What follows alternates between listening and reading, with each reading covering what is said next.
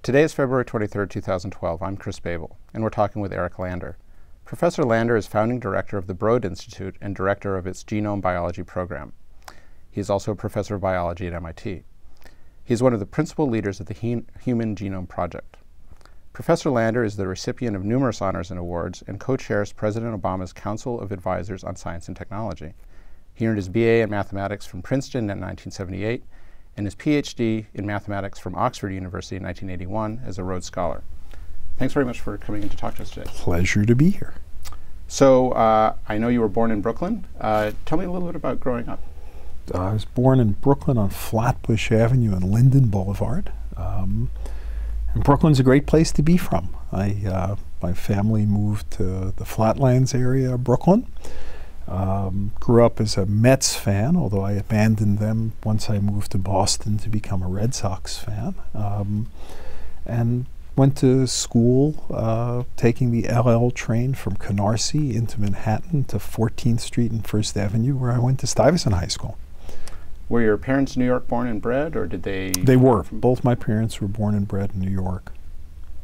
So, and you attended Stuyvesant High School, you said. Uh, talk about about that and and kind of I know that there were some sort of interesting things that happened to you very early on in your life in terms of math and, and science. Well, I mean, Stuyvesant was an amazing place. I mean, it was a place where, you know, for a hundred years, lower middle class kids uh, from the city have been able to go and just have their eyes opened as to what's possible. Yeah, growing up in the neighborhood I grew up in, not a lot of people did science, got uh, PhDs, not that many people that had gone to college, and to go to a place like Stuyvesant, a free public high school that was just steeped in science and math and it was eye-opening. It was wonderful. Just all sorts of other kids who really loved math and science. So in ninth grade, I remember, I don't know how it happened, but I got somehow went and found the math team. And the math team was an amazing thing. We met at nine at eight o'clock in the morning, an hour before class, and for an hour, the kids ran the math team. There was um, the captain of the math team who carried the shopping bag. These were in the pre-web days, pre-portable computer days, so that the database of problems available to the math team were carried in a particular shopping bag that became the possession of the captain of the math team. And the students ran the math team. There was a wonderful faculty advisor, uh, Irene Finkel. And for an hour, five days a week, we did math problems. And then the team competed. And uh, pretty much every year, uh, Stuyvesant was the leading team in the city. We competed with Bronx Science and Brooklyn Tech, and uh, it was great. I loved it, and many other things I loved about Stuyvesant. It was it was just an exciting environment, a very intellectual environment, very different than anything I'd been to. I still credit it as um, having played a huge role. I can't imagine what I'd be doing if I hadn't, through luck, ended up uh, going to Stuyvesant was mathematics always something you knew you were interested in or excelled at? Or? No, not at all. Actually, um, I uh, I got interested in math a little bit in sixth grade when I had a great uh, teacher, a guy called Jack Druckman, who I later found out wasn't actually a math teacher at all. He was a social studies teacher who was just covering math, but he was a wonderful guy and he got us interested in math. And uh, I, I remember you know, some early math competition in sixth grade where each class had one student uh, go up and I was representing our class and was kind of fun, and he, he made that interesting. But I didn't particularly uh, know that I wanted to do math until I got to Stuyvesant, and that really opened my eyes to it. But I did I did think that uh, a math science school would be a really fun place, and so uh, that's why I went there. But it, it was really getting captivated by the math team. When when you joined the math team or discovered math, I mean, can you sort of talk about what it was that appealed to you about? No, it was camaraderie. It was it was it was a team spirit. I suppose it's the same thing as joining the football team, perhaps, except at Stuyvesant, the football team, well, the athletic teams at, at Stuyvesant being named after this this fourth colonial governor of uh, New Amsterdam, uh, who had a wooden leg. The the teams were all called the Peg Legs. And as you would imagine, football teams and track teams known as the peg legs uh, you know, somehow failed to inspire the appropriate awe and excitement. And so the math team was actually a more important team at my high school than the football team was.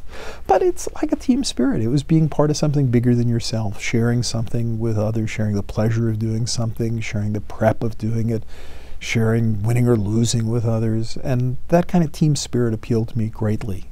Um, and then beyond it, just amazing teachers. Somehow Stuyvesant collected a set of remarkable public school teachers who really cared about science and math. I took an amazing earth science course as a ninth grader, and then biology and chemistry and physics and calculus, and they were all just taught by just remarkably good teachers. I don't quite know how it happened that, you know, I don't know if you could do it today, but somehow in the 1970s, one was able to attract some pretty amazing people to teach in the public high schools, and we all benefited, from it.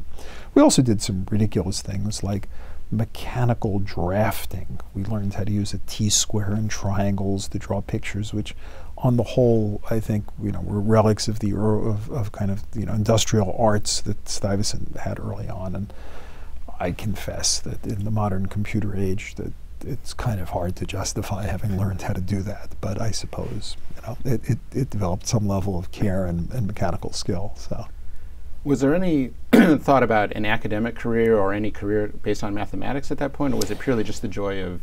That was the joy. I mean, I had no particular idea what an academic career meant until another wonderful thing in New York City, Columbia ran the Columbia Science Honors Program, where kids in New York could take the train on Saturday morning up to either the Columbia Morningside Heights campus or the 168th Street Medis Medical School campus and take a set of courses taught by college faculty to high school students. And I remember having taken an astronomy course and something in immunology, and then an amazing course taught, um, I think, by Wilfried Schmid on Galois theory when I was a junior. And it was a real honest to God math course of the sort you'd have in college. And uh, we met on Saturdays, and he proved theorems. And uh, know, I went for an hour and a half. We had a coffee break. It was the first time I learned to drink coffee. I later discovered, you know, that Columbia's math department's coffee was not a model for how coffee should be done. It was usually burned coffee, but it was sort of a very grown-up kind of thing. And and you know, we learned grown-up math, and I thought Galois theory was amazing. That was the first time I'd met a college professor, and began to realize that you know, people actually made a living doing this kind of thing. The other really transformational thing was um, the National Science Foundation funded a program called the Hampshire College Summer Studies and Mathematics Program under some NSF science, summer science programs where, um, oh, I don't know, some number, maybe it's 100 kids from around the country would come and spend six weeks at Hampshire College doing a wonderful math enrichment course. And this this was again fantastic because it was you know six weeks, six days a week, about six hours a day, doing math, but not problems, but discovery. They were courses around finding patterns, phrasing conjectures, proving things, and again, finding a camaraderie, a, a, group of people who loved doing it, who did it for fun, but opening one's eyes to the idea that math wasn't just about either solving problems or learning about other people's previous theorems. It was about actually discovering things yourself.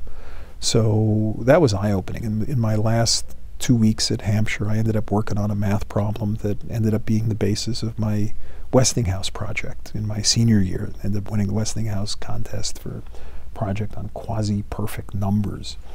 Um, and you know, learning how to do research as a you know between my junior and senior year in high school was pretty cool. And proving a theorem nobody had ever proven before. It wasn't the most important theorem in the world, but it was a theorem. And uh, you know, so it, it, these were pretty amazing experiences. By the time I got out of high school, um, having really learned about team spirit, having seen what a college course was like, having learned to discover something yourself. When you discover something yourself, it's kind of addictive and, and you want more of it. Um, and uh, you know, then having fallen into being on the the um, U.S. Uh, math team that went to the International Math Olympiad. My junior year was the first year that the U.S. had a U.S. Um, math Olympiad, and uh, they, they had it, and I ended up, uh, I think, scoring second in the country on that, and so that was a nice thing. But much more exciting was this my senior year. The U.S. sent the team to the International Math Olympiad, which had been started by the communist countries, and um, had been running for I don't know a dozen or thirteen years, and uh, they actually sent a bunch of us to East Germany before we had diplomatic relations with East Germany, and uh, that was an amazing experience as well. So we ended up doing okay. They were a little afraid we were going to get crushed by the Soviet bloc, but we came in second. We lost by only a few points to the Russians, which was an amazing performance given what everybody's expectations were. And we colossally pissed off the Hungarians, who were legendarily good mathematicians and always vied for second or first with the Russians by actually beating the Hungarians. So the U.S. you know got itself on the map. So anyway, that whole set of experiences, wonderful, wonderful set of high school experiences that couldn't have happened any place but Stuyvesant. And um, you know, it, it then sent me off to college really being interested in mathematics. And I chose to go to Princeton for two reasons. One, because they had a great math department, and two, because um, Princeton looked nothing like New York City. It was green, they had these trees and things, and grass, and other, other kinds of innovations that were not so common in, in New York City. And um, I wanted to be someplace different, so I went there and had a great time. So, you, you mentioned the camaraderie. Was there also, did you sort of enjoy the, the sense of competition? I would assume there must have been, it must have been quite a pressure cooker when you're sort of on an international stage like that. Was no, that it actually, it turns out it wasn't because, you know, the, the math competition, uh, you know, what are you going to get? It's not like you're getting big prizes or anything like that. I think, uh, you know, you work by yourself and you do the best you can. Uh, mostly what we enjoyed was that, for example, we hung out with the Soviet team. The Soviets felt that uh, we were in East Germany, they ran East Germany, they couldn't possibly get in any trouble, so they could do any kind of hooliganism they wanted to. And so the Soviet team and the American team, being two super superpowers in what was basically a client state of one of them, uh, decided to, to hang out and make trouble. So we, we filled water balloons and went up to the top of a tall building, 10, 10 story building in Erfurt, East Germany, and lobbed water balloons down onto passing traffic. Uh, confident in the knowledge that the Soviet team was pretty much immune, and if we were hanging out with the Soviet team, we were okay. Um, so I remember it much more for the experience of the camaraderie with other teams. I met uh, guy called John Cremona on the British team, who ended up being my office mate at Oxford when I went to graduate school. Um, I, uh, you know, remember a variety of the other teams and things, and remember, you know, experiencing what a communist country was like for the first time, and later walking around East Berlin. So for me, it was much more again part of the eye-opening experience. The, you know, a lower middle class kid from Brooklyn having his eyes opened. It, there was no real pressure around this. And you know, in the New York City math competition, we were pretty good. We we didn't feel a lot of pressure either because we pretty much won, and so it was just fun. Um, I enjoyed it tremendously. And the, sa the same with Westinghouse. I uh, yeah. I was talking to Tom Leighton the other day, and he same year he still I. remembers that you. I think you won, and he was the runner-up or a runner. He was third. Third, yes. Yeah, yeah. I, I, I was first. There was a girl called Linda Bockenstedt who was second, and Tom was third. And I did a paper on uh, number theory, and he did a paper on analytic number theory. Uh, so we both were doing things on primes. I was, uh, it, it, was great. But that's where I met Tom Leighton. So at least two MIT faculty trace back to that same Westinghouse. Yeah, I mean, again, the distinctions were arbitrary. Um, I think you could have ordered them any way you did. But it was again, it was a great experience. I remember meeting all of these wonderful kids who did different kinds of things. I remember also the delinquency we engaged in there. One of the students had as his Westinghouse project a laser.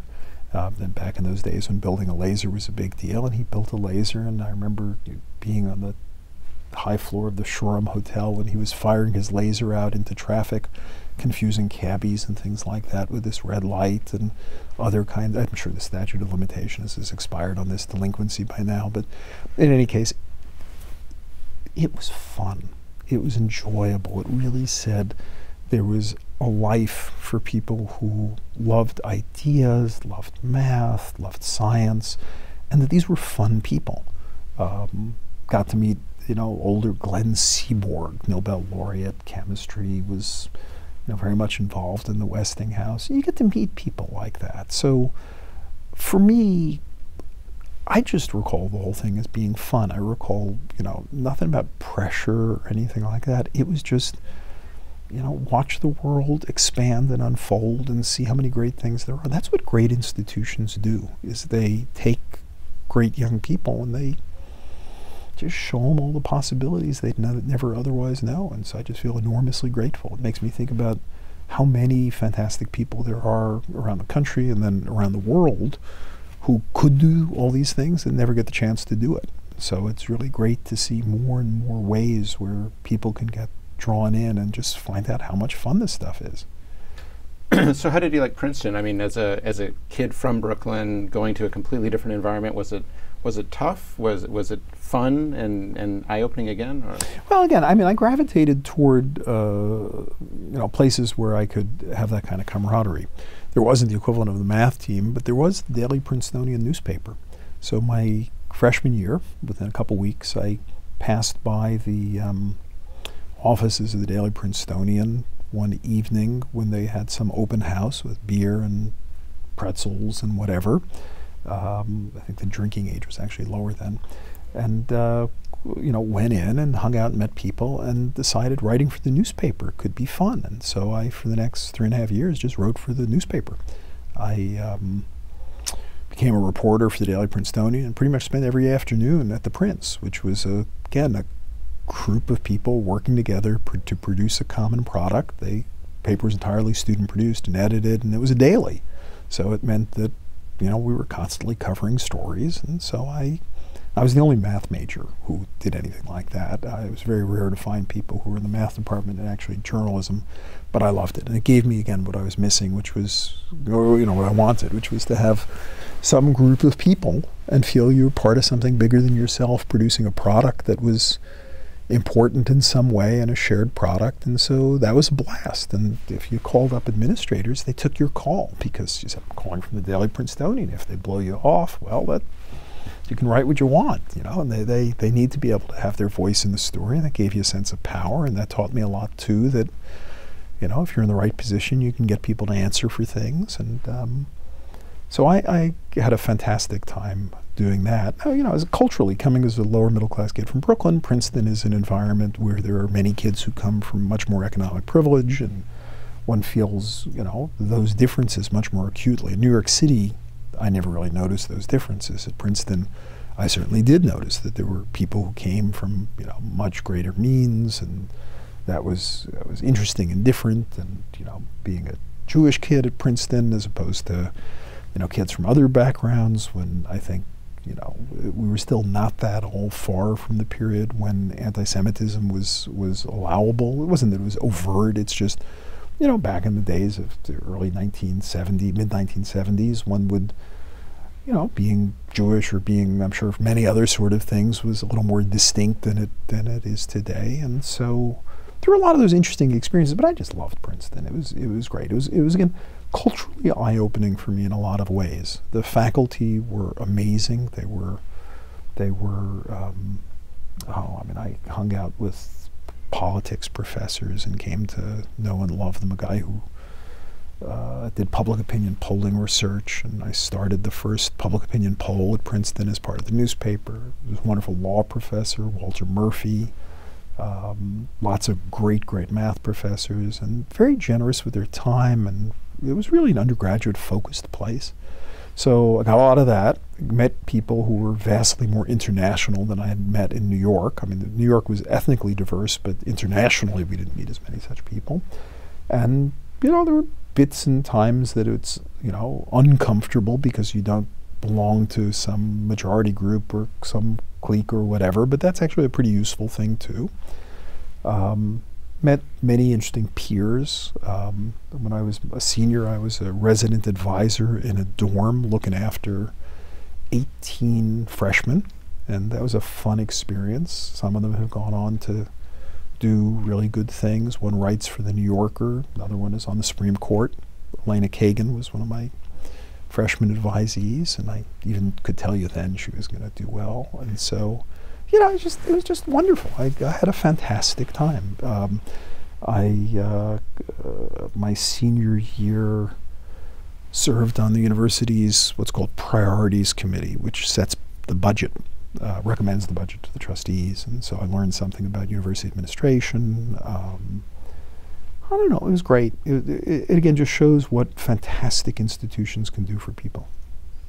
So you got a, a Rhodes, which was so no no small feat, uh, and went to Oxford to study mathematics. I did my PhD at Oxford doing mathematics, and that was, uh, again, a very different sort of experience. Um,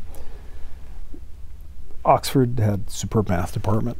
Um, I had a wonderful advisor, Peter Cameron, um, with whom I did algebraic combinatorics, um, and got to see Europe.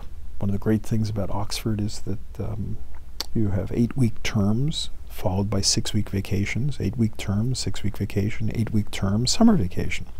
So you're on for about 24 weeks and off for the rest of the year. And if you're doing biochemistry, you have to be at the lab bench. But if you're doing pure math for your thesis, it's pretty portable.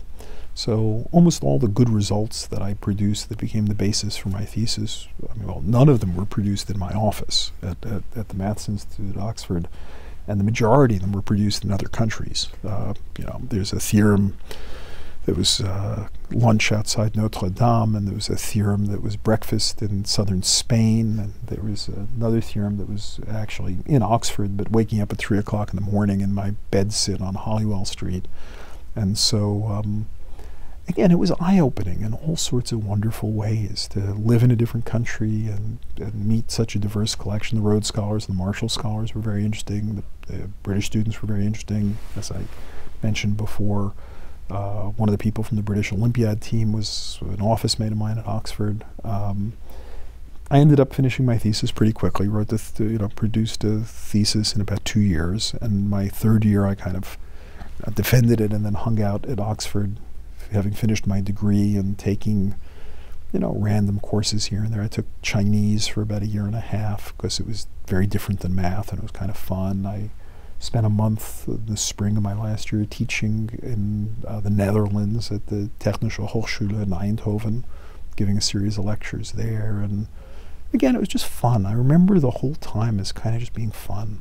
So, so you obviously have had an extremely interesting career tra- trajectory since then, and, and there was a, a point where uh, you decided not to pursue mathematics as you know, as, or an academic career in mathematics. Um, yeah, so at least so to not be a math professor, yeah, right? right? I ended right. up still doing mathematics. Yes, well, exactly. It turns so out, yes, but yeah. Yes. Uh, so, so tell me about that thought process and, and what led you, I guess, first to uh, teaching management at Harvard and, and on. Well, you know, um, I love math, obviously, but I also began to realize that the life of a pure mathematician might not match all this fun I was having being part of these, you know, shared enterprises, whether it was the math team or the newspaper or other things like that.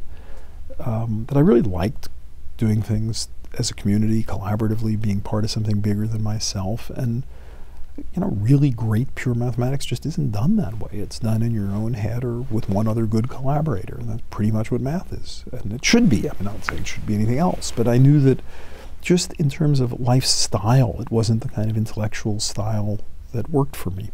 So um, around my second year in graduate school, I began to realize this and cast about for what was I really going to do.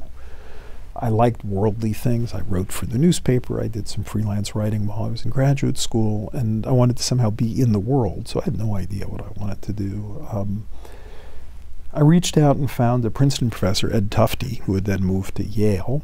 Um, this is the Ed Tufte who wrote these wonderful books on visualization of quantitative data. He had taught political science at Princeton.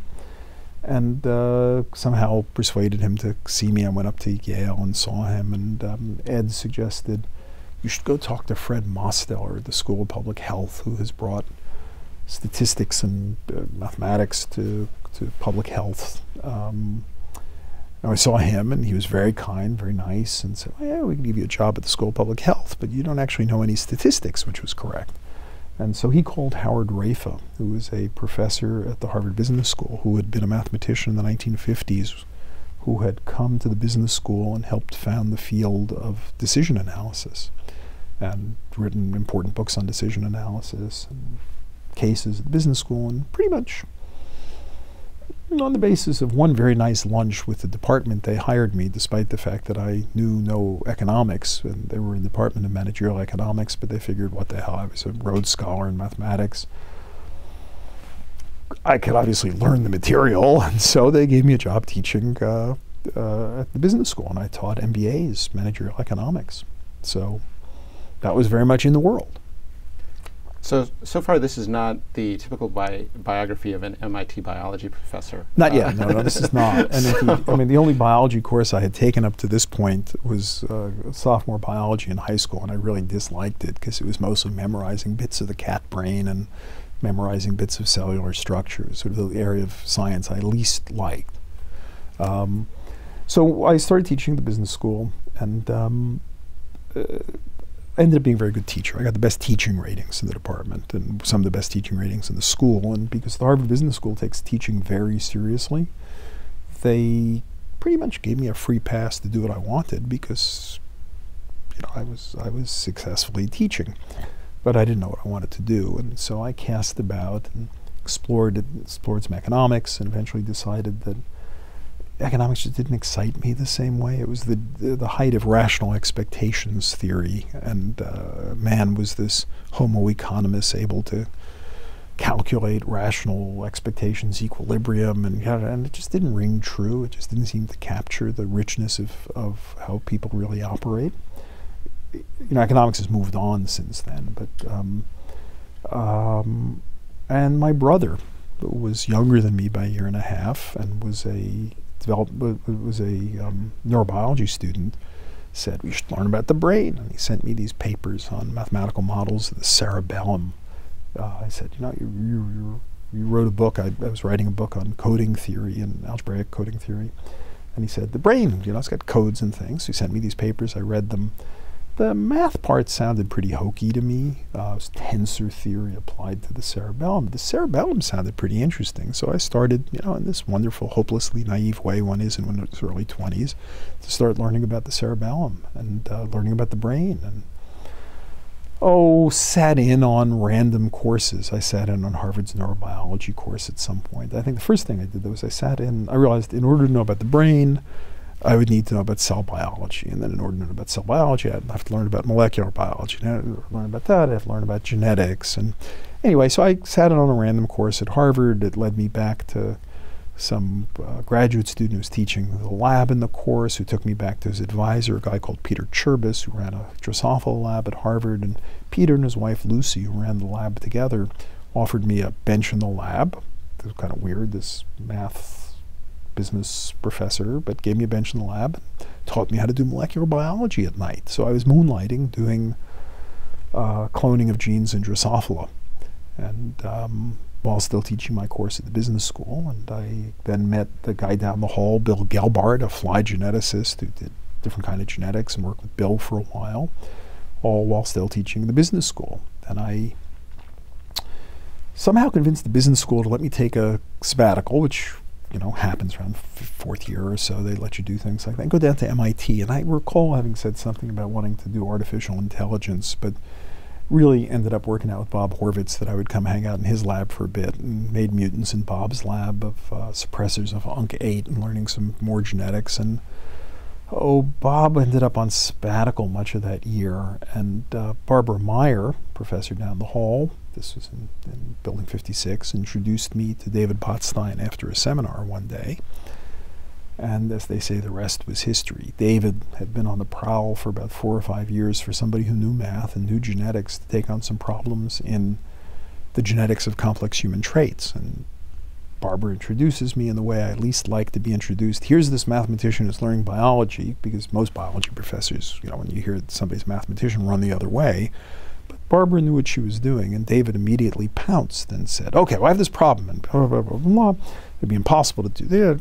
Yeah. And, and, I listened to it and I said, oh, no, that's bullshit. You could do that. And, you know, we started arguing. We got, we got markers. We went to chalk. We went to the board. We started arguing. We agreed to meet later. As it happened, David had published this incredibly important paper in 1980 on mapping genetic markers.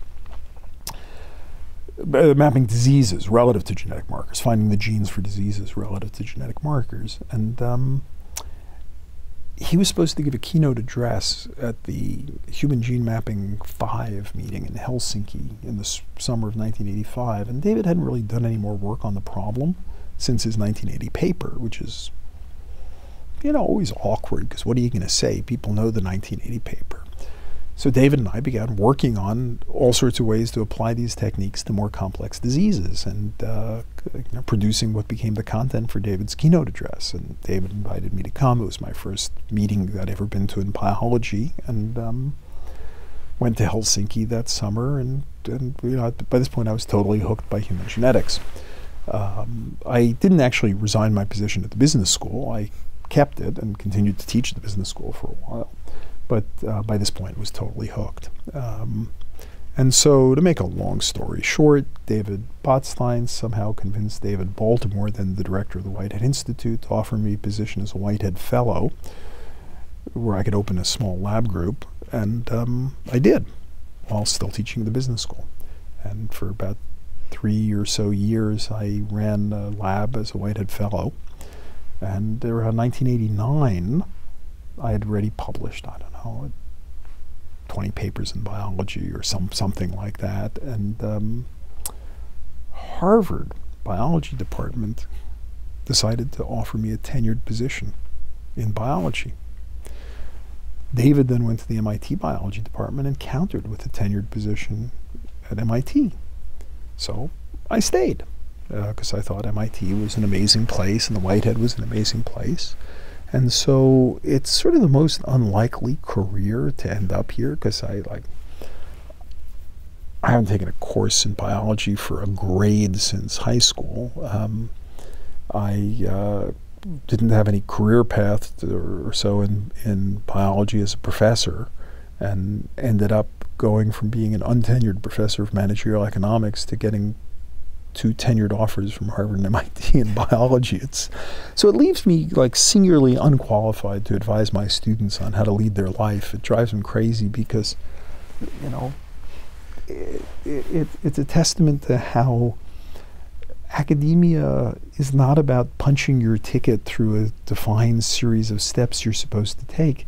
It is about the unexpected. It's about you know, taking your interests and whatever talents you may have and seeing where they lead and doing it around an environment with great, great people is, uh, is the key. I mean, when I was leaving Oxford, I didn't know what I wanted to do, but I did decide I wanted to do it in Boston because I figured if I didn't know what I wanted to do, I should do it around great people. I should do it around a place where there's a lot of cool things going on and there would be lots of productive collisions. The only other advice I really got was, you know, spend time with really good, generous people. And I was lucky enough to find some amazingly good, generous people. Howard Raiffa and, you know, uh, Peter Cherbas and Bill Gelbart and Bob Horvitz and Barbara Meyer and David Botstein and David Baltimore and just pretty amazing.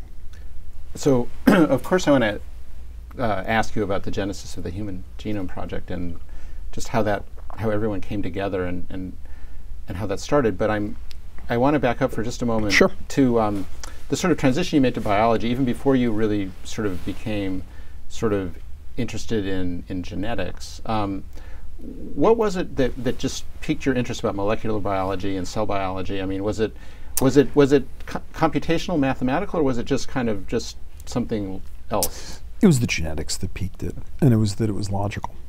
Genetics is the most it's not mathematical in the mathematical sense, it's that it's logical. Um, genes are inferred to exist from certain laws. You can't see them initially. Now, of course, we can sequence them, but genes were inferred to exist by Mendel, and their positions on chromosomes were inferred to exist, and all sorts of things could be inferred from observation in a very logical way, and that just appealed to me tremendously. So I became really enamored of genetics and then molecular biology because of its logical structure. um, why do you fall in love with some intellectual things more than others? That was that's what hooked me. One thing that one thing that really strikes me just in thinking about how people and I mean just the general public, including myself, talk about these things is that people use chromosomes, DNA, genes almost interchangeably in sort of common speech. And mm-hmm.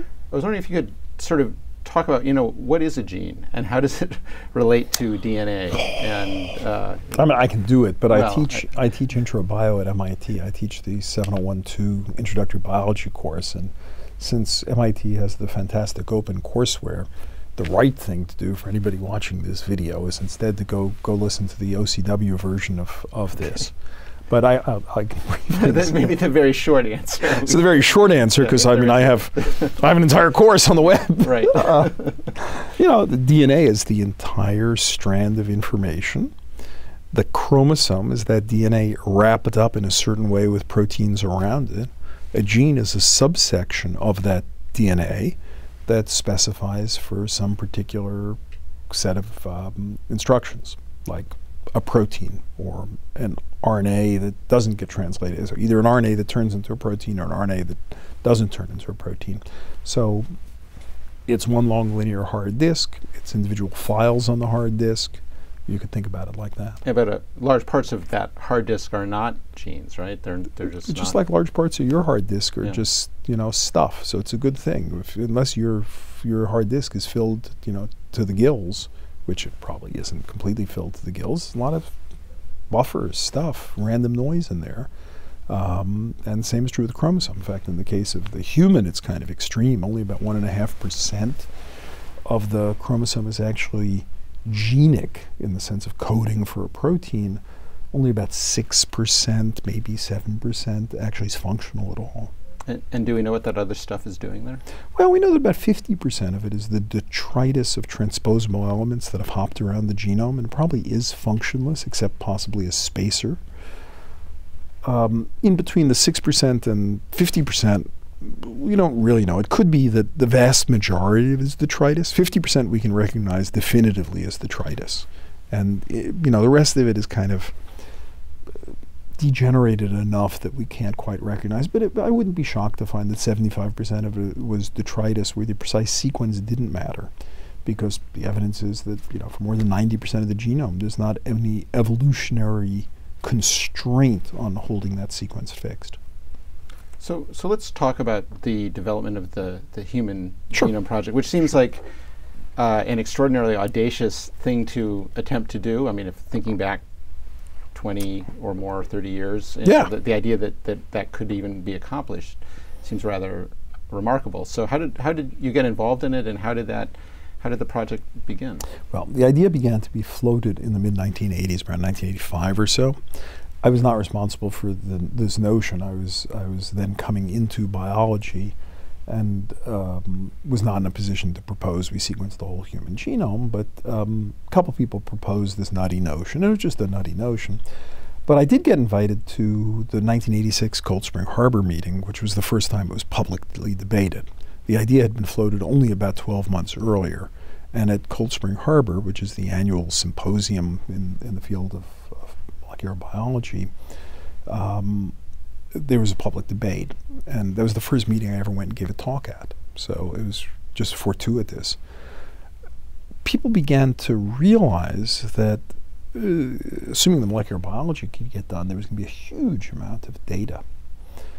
So um, anyway, there was a public debate. I raised my hand in the middle of the public debate um, on two occasions, and you know an auditorium and you could raise your hand and decided what the hell I would just throw myself in and said a couple things and Maxine Singer and Paul Berg, two of the deans of molecular biology, um, came over to me after the public session and said, "Oh, we liked what you said. It was really interesting stuff. Come to dinner." And so I went to dinner at Blackford Hall with them and talked more about the Human Genome Project and Anyway, about two months later, I think, the NIH was holding a meeting on a human genome project, the idea of the human genome project, and they realized they needed people who knew some, something about mathematics to think about that. So they suggested me, and so I went. And so, anyway, that's how I began to get involved in this thing. Um, and uh, because the kind of work I had done with David Botstein was around whole genome mapping, how you would use the information from a whole genome. By 1985, 86, I was working on, on what you would do if you could map the entire genome. Uh, I got very involved in in kind of the planning issues around the human genome, and then also began to realize that we, we would only have the data if we actually got the work done. And so I began to get very interested in actually how you could sequence the human genome. So with my startup funds at MIT in 1989, uh, you know, David Baltimore had given me startup funds. I basically blew my whole startup funds in six months to generate preliminary data for the first um, uh, call for proposals for human genome centers. So, despite the fact that we had no experimental track record whatsoever, we ended up getting the best score on our application to be a human genome center, and we were one of the first four human genome centers created in the world. Um, and, you know, so we threw ourselves into the deep end of the pond by trying to take on the experimental work of sequencing the human genome. So, you know, when I recall the, uh, the the sort of journalistic and public accounts of, of that that time in the very initial stages of the project, I mean, it was just seen as this almost insurmountable problem or challenge mm-hmm, to, mm-hmm. to, to get that amount of information out. And yeah. Can you talk a little bit about the, the challenges, whether they're technical, scientific, managerial? Yes, they were technical, scientific, managerial. I mean, look, at the time, uh, it was going to require like a 10 to 100,000 fold scale up in how you would do things. The, you know, everything needed to be changed. We needed to access DNA in a different way. Um, this is before the. You know, the, the, project was proposed before the polymerase chain reaction was was available. Um, before any automated sequencing was available. Before strategies for how you would assemble a genome of three billion bases were available. It was just a remarkable, audacious thing to say that let's start, and by starting, we will somehow force ourselves to invent the answers. Worked, worked wonderfully. Uh, you know, maybe it's like I don't know enough about the history of the radar lab at MIT or other things, or building the early internet, but you know, it's not obvious, actually obvious how you're going to build an internet connecting the country or or radar or other. But you know, you start, and then then it forces you to come up with a solution. I you know, Los Alamos, any of these things where where you have something you want to get done, you have a lot of problems to solve, and again, you have this camaraderie of a team coming together to solve it. So, you know, it was every single aspect of it was audacious, um, and took took quite a while to get all the pieces coming together. Project put put the first oh, five six years in laying the groundwork, and then another couple years getting that groundwork in a position to actually be able to be applied. Did people have any sense of how long it was going to take at the beginning? Yeah, it was said to be a 15 year project. Turned out to be a 13 year project. Not bad, given how little we knew. I mean, it was shockingly good. And when we talk about mapping the human genome, exactly what are we talking about? I mean, what what comes out the other end of that 13 year process? Well, the great thing is it comes out as a little memory stick that contains all the letters on chromosome 1, chromosome 2, chromosome 3, all just laid out that's what comes out. It's it's in the end very simple. It's it's a linear sequence of letters across each chromosome. And I guess one of the things that I'm interested in talking about a little bit is the human genome obviously varies minutely from person to person. Yep. Uh, what what is the human genome that we know, and how does that relate to an individual? Uh, that is, what, what human genome was sequenced? Well, what maybe what is what was sequenced, or when we talk about the human genome and having this map, is it Look, if, if, if any two copies of the genome differ by one letter in a thousand, doesn't matter. We, we, talk about the human genome as your genome or my, my genome. It doesn't much matter. It's, of course, it's not the human genome because they all differ slightly, but you know, squint a little bit and it doesn't matter. So it's not a big problem. What is the difference in variation? One letter in a thousand. One letter in a thousand. That's a little less than one, one in 1300 or so, plus some structural rearrangements and all. But basically, I think it's about one tenth of a percent. So it's not too hard to say. If I have any one human genome, it's pretty close to any other human genome. And if I then begin to have enough of them, I can build build a catalog of the variation that's there. So the other thing that, of course, was uh, made much of during the, the, the, the, process during the during the project was the public nature of the Human Genome Project and parallel private efforts to do the same work. And I wanted, Right. I was wondering if you could talk about Well, the, the parallel private effort was a pretty late development. Um, what happened there was that uh, a company, ABI, uh, developed an automated sequencer that involved capillaries, which made certain aspects of the project better and easier and all that. And uh, what they did was they went out and they found uh, Craig Venter, who was one of the people part of the public project who had a center in Rockville, Maryland that was not doing too well, actually, um, and induced Craig to um, do a project where they would give him large numbers of sequencers in return for privately generating the data. And this is already eight, nine years into the Human Genome Project, where the vast majority of the foundation had been laid, and then it was pretty close to the gear up stage. So at that point, there came, I don't know, it was 98, 99, something like that, this big announcement that they were going to fund a private effort aimed at privately obtaining a sequence of the genome that they could patent and own and restrict. Um, it was a dumb idea. I mean, it would only work if you could prevent the public version. So that had to be the strategy. You had to make sure the public project would die because if you have a freely available public sequence and a private sequence, but there's a public one, it's not a great business strategy. Um, and so there were efforts to try to say that the private was enough and that the federal government should stop funding a public project. There was a lot of work, a lot of lobbying to try to prevent the public project from getting funded, uh, from, from continuing to get funded.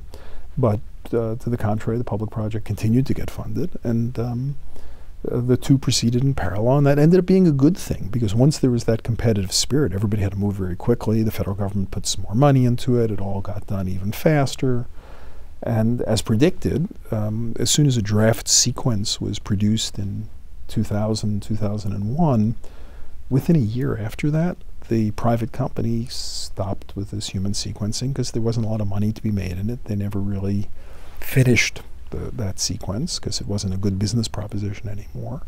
Uh, Craig went on to finish that sequence because it mattered to him to prove he could finish it, but it turned out not to be a great business proposition. The company, you know, its stock price spiked, but um, by a year or two later was down by 95%, and so it just never made sense as a business plan. But had we not insisted on the idea that this information needed to be freely publicly available, we'd be in a very different world because we now have the ability to take the human sequence and the mouse sequence and this sequence and all and combine them and mix them and match them and have freely available information. It's the difference between, you know, a Google of all the world's information and all the world's information living in different balkanized gardens behind big walls.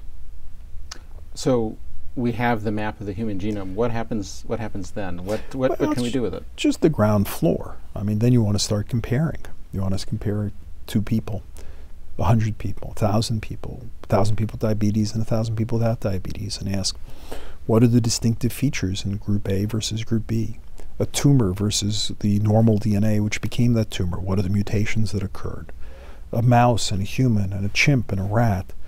It's all differences. But once you have one sequence, you can then compare it to other sequences and begin to learn questions. And so what's happened in the last decade is a tremendous, tremendous amount of work to generate data. And this is probably a good idea, a good time for me to ask you about the founding of the Broad Institute and Sure. Broad's mission. Sure. So during the 1990s, when we were doing the Human Genome Project, it was clear that there were going to be lots of medical applications. And in the mid 1990s, we got, um, we began to collect around the Genome Center some smart young MD PhDs or MDs from around town who began hanging out because the Genome Project was exciting. There were a lot of new tools. And I went and raised some money from a consortium of three companies to support what we called the Functional Genomics Consortium. The Genome was Genome Project was focusing on the structure of the genome, but this was a functional genomics consortium. And uh, we got some money, about $8 million a year, to support projects. And the Genome Center became kind of a buzzing hub of young people from across town collaborating. from the Farber and the Mass General and Brigham and and it was all totally unofficial. Thank God nobody, nobody knew anything about it, you know, because institutional heads would agonize over who gets the overhead, who's responsible if God forbid something goes wrong, and who gets the IP, and all that. We just totally ignored it, and um, thank God we did because, you know, uh, a bevy of lawyers could have brought this to an end, but they didn't know about it. So by um, oh the year 2000 or so, we had 65 collaborations going on across town of young people from different institutions, all centered at the Genome Center. And then it became clear the Human Genome Project was going to come to an end. So, um, how are we going to keep this going? How are we going to institutionalize, bottle, make permanent this amazing energy that had been generated? And so we conceived the idea of creating an institution, an institute, permanent institute, uh, that would keep this going it wouldn't make sense to do it within the Whitehead Institute where this was taking place because it had already risen to be about 75% of the budget of the Whitehead and it was just too imbalanced. And more importantly, the right community would be the whole MIT and Harvard community. So we went out with the idea to the two university presidents, Chuck Vest at MIT and Larry Summers, who was just beginning his tenure at Harvard, with this notion that we should make a joint institution between MIT, Harvard, and the Harvard hospitals. And you can imagine how simple that was. Uh, just get MIT and Harvard to collaborate on something. This was actually not often done, but you know, anyway, they um, Chuck and Larry were both visionaries, and they were both at certain times in their tenure, late in the case of Chuck, early in the case of Larry, when both had the ability to act for different reasons. And after only two years of work, you know, everybody was persuaded we should do it, and um, it helped a great deal when when I found Eli Broad and uh, Eli and his uh, fantastic wife Edie believed in this mission and offered to put up uh, a, a, gift of $100 million to make it possible. So, with that in hand, that actually helped focus the mind of both MIT and Harvard to, well, let's really do this. And that's how the Broad got created as a real connector across this amazing MIT and Harvard community. So, talk about, um, you, you know, the, the, the, the map is there there are there's enormous potential in, in, terms of what we can do with it. Talk a bit about the Broad's mission and sort of method for for working through this enormous fount of information. Well, the scientific mission is to propel the understanding and treatment of disease. Um, the way you do it in the academic world is you empower amazingly smart young people Young doesn't necessarily mean chronological age, because one of our amazingly smart young people is 72. It's Ed Scolnick, who's just extraordinary, but it's a state of mind. Young, excited, driven people. And you empower them by creating community and giving them access to capabilities. And so the Broad had learned from the Human Genome Project the power of collaboration, real deep collaboration, not the occasional I'll chat with you, but truly making teams where people work together um, and it had learned the power of having not just academic labs, but professional scientists, um, teams of the kinds of people you might find in industry, but working in a nonprofit setting, but not professors, but long-term PhD, you know, sophisticated scientists and and uh, technical personnel working as a team. So when you combine those, individual scientists groups of labs that commit to working together 15 20 labs in cancer that work together plus professional teams that might be 200 people involved in sequencing or other things like that you can do amazing things. It means a young person with a great idea might want to take on a project that they couldn't possibly do on their own or do in their own lab. But through this network or through these professional teams we call platforms could do it Maybe they want to take on chemical screening. They want to screen half a million compounds to see some. Well, they're not going to set up half a million compounds in their lab. They're not going to have a graduate student do that. But if you had a professional team that can do that, then the graduate student can be empowered to try some amazing idea. And you know, so the Broad is about unlocking, unleashing the amazing creative energy by letting fantastic young scientists work together collaboratively to take on audacious projects in that same spirit as the Human Genome Project. It's not necessarily genomics, but it's the spirit of there's no reason we shouldn't do audacious things. Young people want to do audacious things. We want them to be able to do audacious things. We don't want them worrying about how do I get my next grant? How do I write my next paper? Yeah, those are important things, but that's not what you live for. You live to say, how are we going to cure cancer? You live to say, you know, how are we going to be able to program a cell to do anything that we want it to do? And you want people to mostly be focused on that. Yeah, we have to worry about grants and getting papers published and all that, but you want their imaginations to be big and uninhibited. And you want them to support each other by doing it. So the Broad is about creating an environment in which fantastic young people do that for each other. The beginning, you know, I supplied a lot of that energy. But as with all of these sort of uh, exothermic reactions, it, it sort of takes on a life of its own. And the energy liberated by this sparks more things and more things and more things. And now this spirit is owned by many, many, many people. And uh, people come to the Broad because of the people who are involved in the Broad. Uh, you know, the students support each other, and, and the young faculty are helping each other. And, you know, I help some and I cheerlead some, and I'm involved in a bunch of projects. But what's amazing is how much this model of teamwork and collaborative spirit works. And it's not teamwork where everybody's some ant in some army, or you're the 30, you know, 237th author on some particle physics paper. It's shifting teams where sometimes you're the lead of the team and sometimes you're helping on a team. Where you help me, I'll help you. Together we'll get bigger things done. If I give half of my time to the community, in the other half of the time I can get 10 times as much done because I'm part of a community. So let's talk a little bit about um, sort of various research directions that that we can go. And and one of the things that I wanted to talk about or ask about was was this process of, of doing comparative analyses yeah. of genomes from.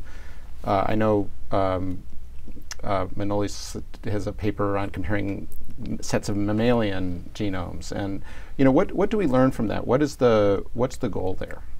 Well, the way you learn how a genome functions is by changing it. If you go in and you tweak a letter in the genome, a nucleotide in the DNA, and it makes some difference, um, then you know it mattered. Well, it's a very slow process. But that actually is what evolution does too. So evolution's constantly got mutations and selection. So if I compare two organisms that come from a common ancestor and I see what was preserved, I can, with appropriate analysis, infer that that stuff is functional. If I look across the genome and I say what things occur many times, I can draw some inferences about that. So the real way to learn about something is to have a Rosetta Stone. The Rosetta Stone helps you understand the, the contents of the genome. And so comparative analysis of different species is incredibly powerful. Uh, it teaches you about how much of the genome is under selection, which, which, which things are functional, um, uh, comparisons across organisms, comparisons across people, comparisons of an organism and uh, of a normal human DNA and tumor DNA. It's all about comparison. So, um, to shift gears just a little bit, um, the uh, the the uh, Human Genome Project and of course the Broad are gigantic not just scientific but management challenges. Sure. Um, and they obviously intersect with all sorts of policy uh, uh, ideas and issues.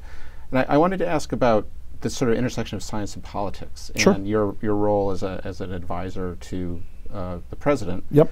Um, what what is the the sort of I mean, this is maybe kind of a softball question, but what is the what is the proper role of of a scientist, of a of, a, of an academic, and an intellectual in these you know really huge kind of basic public debates that we keep seeming to step into. Uh, well, which, which, which public debates are you thinking about? well, I'll let you I'll let you decide. What well, no, no. I mean, there, there are public debates where scientists don't have a particular role, sure. and there are some where they do. Yes. Well, I guess um, I'm interested in the ones where they do. Yeah. Well, okay. So. Um, you know, there there are uh, many, many, many important questions. First, science and technology are the engines of economic growth in this country. Um, you know, the vast majority of our GDP growth is is attributable to innovation in one form or another. has been the case over the last 50, 60 years. Um, scientists have a responsibility to make sure that we nurture that engine. The scientific process, the, the basis of engineering and technology, these are really precious things that, that drive prosperity and um, progress and health and security in our environment.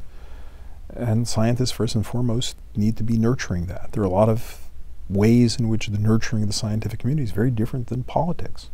It's not about voting. There's a, you know, you don't run science uh, by putting things up to some popular vote. There are agreed upon notions of testing truth. And somehow the scientific community does a pretty great job of that. So that, uh, you know, then there are particular questions, um, questions about uh, how we should best be investing to uh, cure cancer in the long run, or whether you know what how fast the climate is changing, for example, and what we could do about uh, mitigating climate change or adapting to climate change. These are again critical questions. There, there are a wide variety of questions uh, about cybersecurity, about um, about health information technology, about how to make better drugs, about um, nanotechnology, um, where the right answer depends on technical knowledge. So, um, you know, you wouldn't pretend to run the economy or influence the economy or react to economic shocks without understanding economics. Uh, you shouldn't be taking on technical questions without really understanding science. And so it's really important for scientists to step up and get involved in those public debates and public discussions. And um, the scientific method is an incredibly powerful way to do it. I guess there's also kind of a related question about um, sort of the general public, people like me who are non, non-scientists and our understandings of, of, of, science and which may also tie back to science education. Um, I was wondering if you well, science education is a critical part of it. Um, we need a public that, even if they can't do science, understands science. Um, it's important to understand the rational basis for uh, drawing conclusions. How do you how do you know anything in this world? How do you prove anything in this world? I mean, I certainly can't say that for every single scientific fact that I'm aware of, I'm aware of the scientific literature that supports every bit of it. You can't know everything like that, but I do know what it takes to prove things, and I do understand the structure of those of, of those arguments and that logic, and we have a fantastic dynamic where the scientific community is self-correcting and self-criticizing, and where if some argument is bogus, you can pretty well count that there's going to be a young professor who's going to make hay by pointing out why it's bogus. And the thing about science is that if he's right, folk are going to agree. He's going to be able to prove that point. It may take a while, but it's not going to take that long. So we actually have a great way in science to adjudicate um, uh, disagreement and, and unorthodoxy. And it's not about opinion, it's about data. So that's a really good thing. And the most distinguished professor still loses to the graduate student if the graduate student's right.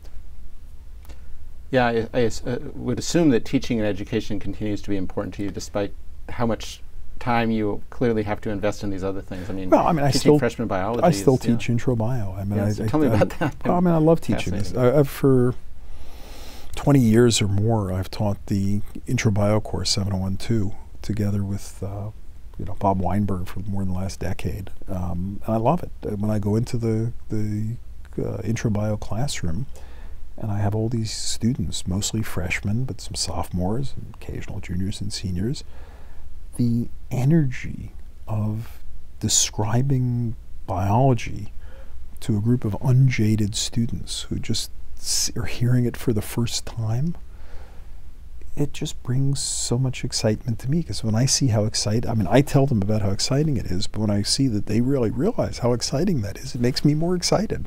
So maybe I think it's fair to say I, I teach the intro bio course at MIT because selfishly, it, it each time reignites my own energy for all this. It just makes me realize when I tell the stories about what, what this is about, just how amazing it is, how, how fantastic and interesting it is.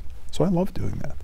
So, as someone who is just, I, I mean, I mean, it's kind of s- staggering to me how many balls you must be sort of juggling between.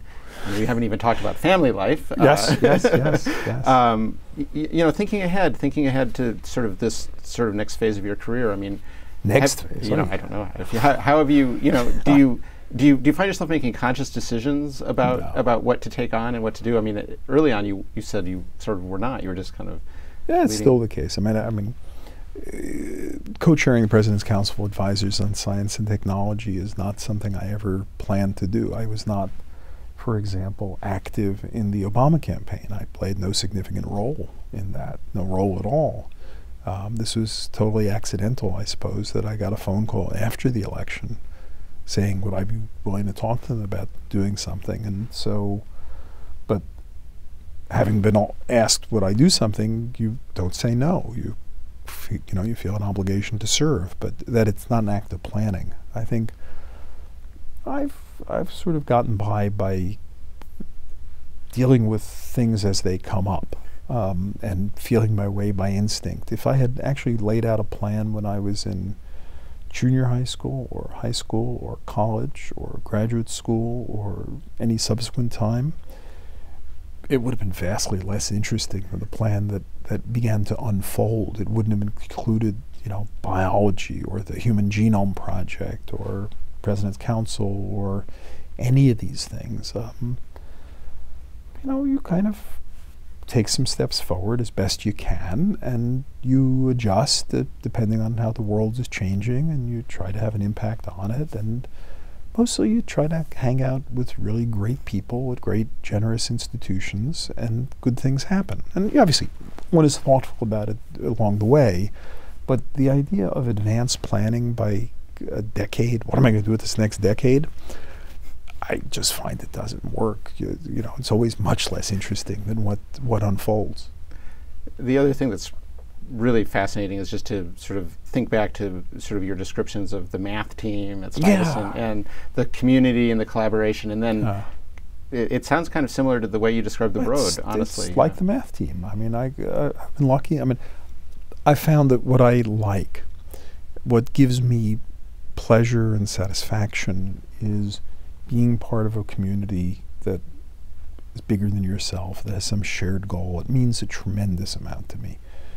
Um, I don't think I would enjoy some job that didn't have that community element, that aspect of shared camaraderie, shared purpose, larger purpose, um, optimism about the future, trying to do something bigger and audacious. Um, and so, you know, maybe some people say, I know what I want to do. I want to study chemistry or I want to do.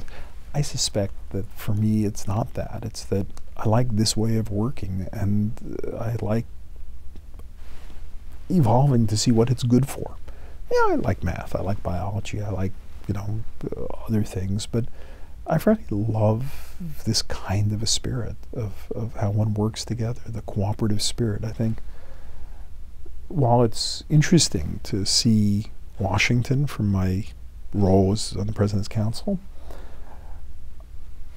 I have a hard time imagining how one could have a really good time in the midst of something so contentious where people appear to be trying to mostly tear each other down. What I love about science is, for the most part, people aren't trying to tear each other down.